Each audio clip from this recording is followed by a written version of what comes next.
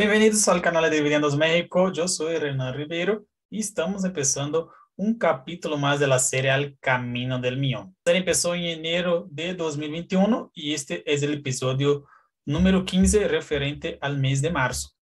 Na série El Camino del Millón é onde eu comparto meu portafolio de inversión a través de la bolsa de valores de forma pública. Comparto publicamente aqui todos os movimentos que eu hago todos os meses, independente se são meses positivos ou negativos. E espero que isso possa servir para vocês como uma forma de inspiração, em no caso dos meses positivos, e também como um aprendizagem, uma espécie de, de alerta para os meses negativos. ¿va? Então, as empresas que eu comento aqui durante o episódio, durante o vídeo, não são recomendações de inversão, sino usem isso, todo o que vou dizer aqui, sempre como uma inspiração, como eu comentei, para que os que ainda não começaram podem começar e os que já começaram podem também melhorar sua forma de inversão. Março foi um mês de ligeira recuperação para as empresas estrangeiras. Eu sempre comparo aqui usando dois benchmarks, usando dos, bases de comparação, que é comparando o portafolio de dividendos México com o índice de SP500 de Estados Unidos, que é o principal índice hoje, e também com o índice de México. Então, vamos ver aqui na la pantalla los rendimentos. El rendimiento de, del portafolio de dividendos México de 0.97% positivo, del SP500 un 3.79, todos están positivos en el mes de marzo, y el IPC de México de 5.87% positivo. Eso durante el mes de marzo, entonces es normal que mi portafolio tenga rendimientos no tan, no tan así, digamos que altos o exagerados en comparación con los benchmark, porque eu tenho como uma mescla aqui de empresas, tenho uma parte de, de empresas estrangeiras, outra parte de ações nacionais, outra parte de fibras, uma parte também em carro. Todos os movimentos suelen ser em meu portafólio mais mais equilibrados, não tão fortes como são em los portafólios do SP500, do índice e também do IPC México. Se vamos aos rendimentos anuais, temos o rendimento de dividendos México menos 5.03%, del SP500 menos 4.80% y el IPC de México con 6.13%, bastante positivo el IPC de México. Y los que tenemos inversión en empresas nacionales, estamos disfrutando ahora posiblemente de, de posibles ganancias. Principalmente quien compró allá en 2020, tal vez también, también en 2021, está, está con buenas ganancias o buenas plusvalías. Hace poco tiempo, hace algunos meses o hace de uno a dos años, havia preços bastante atrativos. Incluso me arrependo também de haver vendido algumas das empresas nacionais que eu comprei em 2020 e 2021, porque com um pouco de paciência, hum, tivemos a oportunidade de comprar a preços barros e com um pouco de paciência, se podemos sacar ganâncias dessas empresas, aunque em México já sabíamos que não há um grande número de empresas, não são poucas empresas em México, menos de 150, há algumas fibras, alguns ETFs, então de empresas como tal de ações são poucas, sim, pero sí hay muy, buenas opciones de empresas, empresas familiares, empresas de las personas más ricas, de las familias más ricas de México, muchas están dentro de la Bolsa Mexicana de Valores. Aquí vamos a ver el portafolio al cierre del mes de marzo, vamos a ver que, que los títulos de las empresas son iguales, entonces no hicimos movimientos ni de compra ni de venta. El único cambio aquí en ese caso sería la cantidad de caja que tenemos un poco más ahora, porque recibimos algunos dividendos durante el mes. Vamos a ver aquí algunos puntos a destacar. Por ejemplo, los rendimientos de las empresas mexicanas, sean acciones o fibras, todos están con rendimiento positivo, todos con actual, actualmente con plusvalía. Y mientras que el portafolio extranjero con acciones y ETFs extranjeros, algunos o la mayoría de ellos con rendimiento negativo, incluso con rendimiento bastante negativo en algunos casos, como lo que podemos ver de PayPal principalmente y también de Mercado Libre. Essas duas empresas eu já comentei também em outros episódios, são empresas que eu já comprei pensando un poco más en el corto plazo, aunque no, no suelo hacer eso, pues no es mi, mi área de especialidad con vender y, o comprar y vender pensando muy en el corto plazo, pero con esa empresa yo decidí mantener un poco más, esperando ahí una, una recuperación o una pequeña plusvalía ahí en el momento de vender. Tenemos también los porcentajes aquí objetivos en esa parte de actual y variación de la meta, entonces vamos a ver que bastante grande, precisamente aquí en la parte de variación de la meta, na alta concentração em empresas estrangeiras e principalmente aqui faltando mais mais dinheiro aqui em carro. Sempre me gusta ter um dinheiro disponível para futuras compras e é justo em los aumentos de barra quando sentimos aqui que está faltando aqui esse dinheiro, não?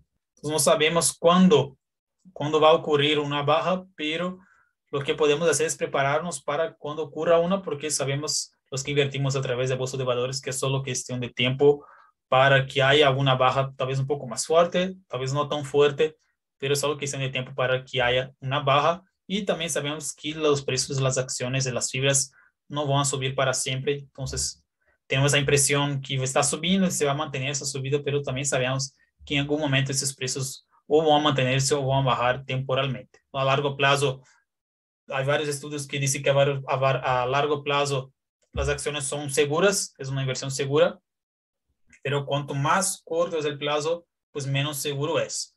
Entonces yo también tampoco promuevo estar haciendo muchos movimientos de corto plazo. ¿no? Las, las empresas, las casas de bolsas, por ejemplo, promueven mucho esa idea porque es así que ellos ganan sus comisiones a través de, de la cantidad de operaciones que nosotros inversionistas hacemos. Pero a mí, por ejemplo, me facilita más invertir en buenas empresas, empresas grandes y esperar tener paciencia. ¿no? A veces falla un poco aquí en esa, en esa estrategia, como puede ver un poco del portafolio ahora también está un poco desequilibrado, pero yo creo que aquí es cuando la mayoría tiene esa ventaja de invertir en algo que conocemos, tener paciencia, esta vez esperar un, momento mejor, o invertir poco, invertir, ¿no? de ser, ser constante inversiones, en los aportes. Yo creo que aquí todos podemos hacer eso, ¿no? También está la opción siempre que yo comento de ETFs. Yo tengo aquí, por ejemplo, un ETF que pueden ver del VO, que de, uno de los ETFs que replica el SP500. Entonces, pues una excelente opción para todos que queremos empezar a invertir o ya estamos invirtiendo, pero no queremos tal vez checar reportes, ¿no? Yo sé que muchos no quieren estar checando reportes de números, puede ser para aburrido, algunos simplemente no, no quieren, quieren invertir, pero no quieren estar en ese tema de checar reportes. Está la opción de, de ETFs como el VO, está el, el, ETF mexicanizado, digamos, del SP500 que el IUV peso. Pues hay opciones ahí para tanto para los que quieren hacer movimientos más constantes, pero también del otro lado personas que quieren invertir, pero no quieren ir tan a fondo en la parte de análisis.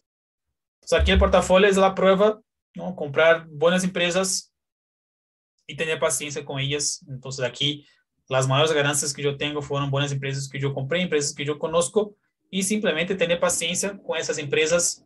Si constantemente compra, vende, compra, vende, intentar como adivinar el corto plazo, yo creo que no funciona, al menos para mí, yo creo que 99% de las personas tampoco hay muy pocas personas que van a conseguir tener ganancia con movimientos de muy corto plazo, pero yo sé que es lo que llama la atención también, porque te da esa falsa impresión de esa ilusión de, de riqueza rápida. Y vamos a los dividendos recibidos durante el mes de marzo. Tenemos aquí dos fibras, dos acciones y un ETF que nos pagaron dividendos. Tenemos aquí un dividendo de fibra CFE de 709.64 pesos, ya después de impuestos son los montos. Fibra Nova, 625.89. Tenemos también Grupo México, pagando 86 pesos con 62 centavos. Microsoft pagando 41 pesos con 74 centavos.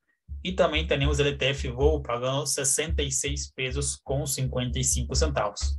Entonces, son los primeros dividendos que recibimos en 2022. El total es de 1.530.44 centavos 1.530 pesos con 44 centavos. Isso nos dá aqui um promédio de 510 pesos com 15 centavos durante esse primeiro trimestre recebidos de dividendos, já depois de impostos. Então, se fazemos uma comparação, estamos ligeiramente por debaixo del mês del ano 2021.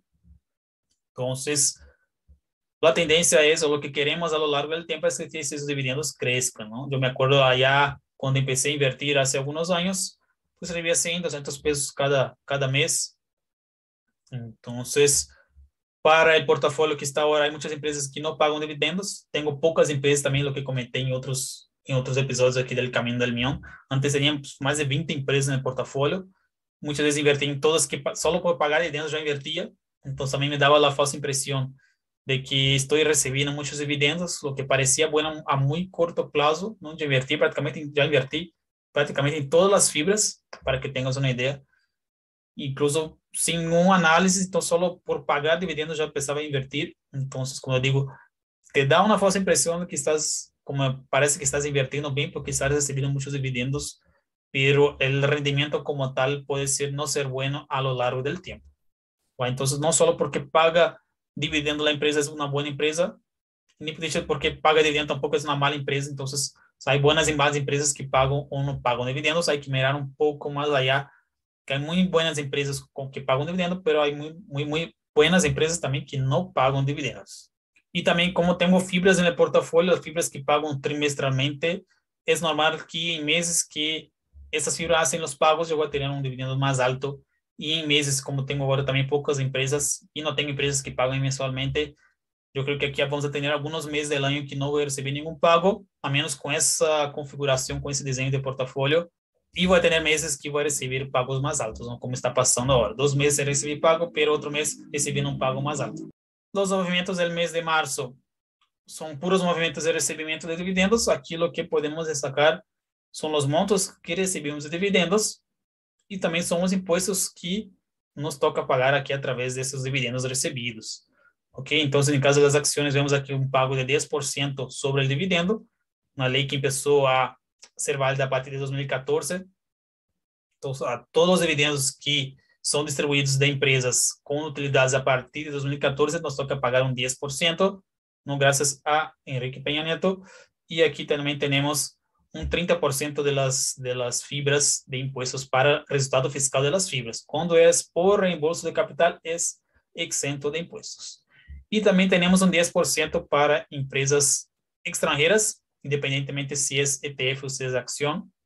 Entonces, como yo tengo el formato W8 de a través de GBM, entonces me descuentan primero un 10% allá en Estados Unidos y todavía cuando llega a México también tengo que pagar otros 10%. Y eso es lo que ocurrió aquí, por ejemplo, en Microsoft y Vo.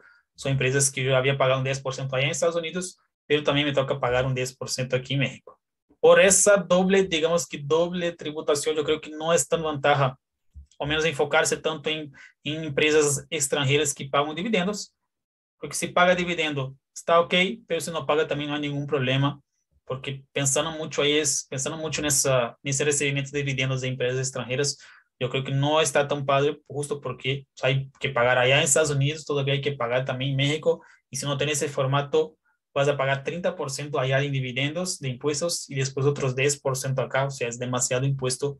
Entonces yo creo que no vale la pena menos enfocarse tanto en, dividendos en el caso de empresas extranjeras, ¿vale? Obviamente hay, hay, empresas extranjeras que sí pueden pagar un dividendo atractivo, tal vez de 3, 4, 5, hasta un poquito más, dependiendo de, precio que compras, pero yo creo que no es la mejor estrategia. Hay muy buenas empresas ahí, tal vez enfocadas más en, en crecimiento de que en dividendos, que podemos aprovechar. Y eso fue lo que ocurrió durante el mes de marzo. Ahora quiero saber de ustedes. Deja aquí abajo en los comentarios cómo les en el mes de marzo en términos de rendimiento. ¿Fue positivo? ¿Fue negativo? Yo siempre comparto aquí, independiente si fue negativo, si fue positivo, porque ese es el objetivo del canal también.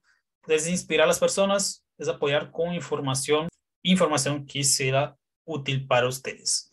¿Sale? Entonces les dejo aquí al final del video las imágenes de rendimiento, portafolio, dividendos y movimientos durante el mes de marzo. Entonces nos vemos en los próximos capítulos y un abrazo.